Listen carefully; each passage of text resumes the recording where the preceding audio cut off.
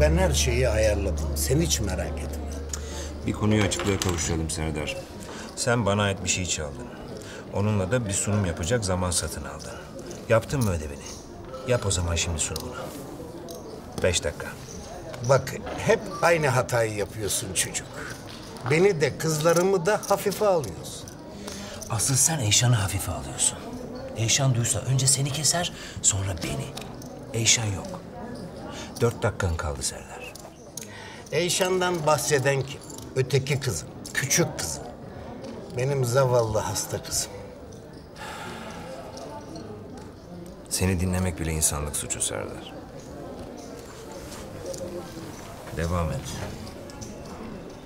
Bana bir şey olsa dedi, bir haber versem dedi, her şeyi bırakır koşar gelir dedi. Öyle masum masum. Sanki iyi bir şey diyormuş gibi. E iyi bir şey demiyor mu? Adamın ölüm fermanını veriyor. Ben niye kızlarımla işe çıkarım bilir misin Cengiz? İğrenç bir baba olduğun için mi Serdar? Kadınlar bilir.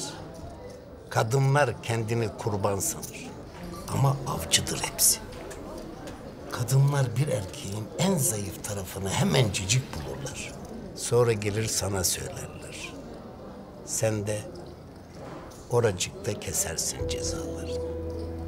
Kurban ezel, yem bahar. Peki zaaf ne? Nereden vuracağız?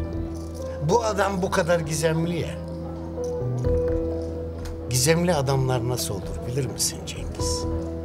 Ya bunların saklayacak hiçbir şeyleri yoktur. Hepsi palavradır.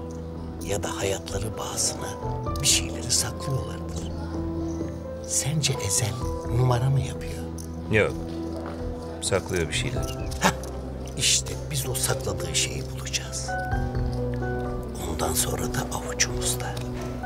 Senden kaçmaz Cengiz. Sen de bal gibi biliyorsun. Bu adam bizim kaderimiz. Evet. Tamam. Süren bitti. Ezel gelmiş.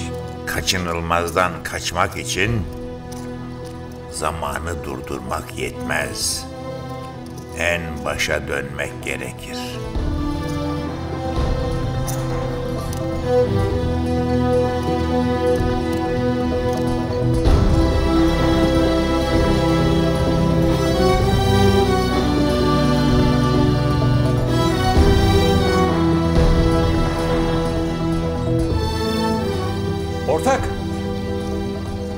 Buradayım. Ne oldu? Yoksa başkası için mi geldin? Gel.